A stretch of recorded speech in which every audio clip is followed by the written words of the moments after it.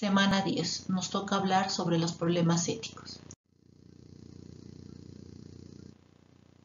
Los problemas éticos se encuentran en todas partes y en cualquier momento te puede tocar observar o vivir una de ellas. Tales como observamos en este collage, son situaciones problemáticas que se viven en la sociedad y que tienen diferentes formas de manifestación. Los problemas éticos son acontecimientos en el que se plantean una situación posible en el ámbito de la realidad, pero a la vez conflictiva a nivel moral. En determinado momento de nuestras vidas nos podemos encontrar en situaciones de problemas éticos, como por ejemplo en el caso que observamos.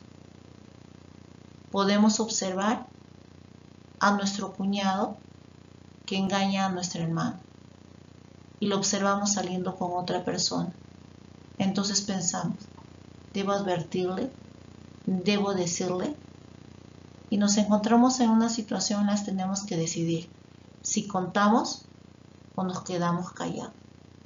En algún momento, si decido contar, pienso que de repente mi hermana puede sufrir aún más si no lo sabe a tiempo.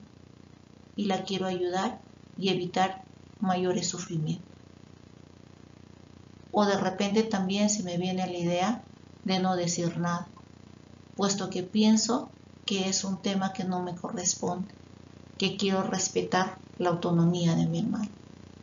Entonces son situaciones que se nos pueden presentar y se convierten en problemas éticos.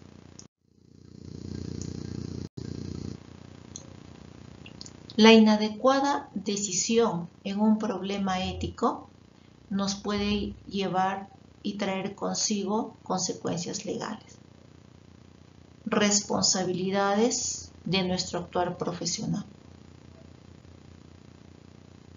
Este actuar profesional y estas malas decisiones lo podemos hacer por negligencia, imprudencia o impericia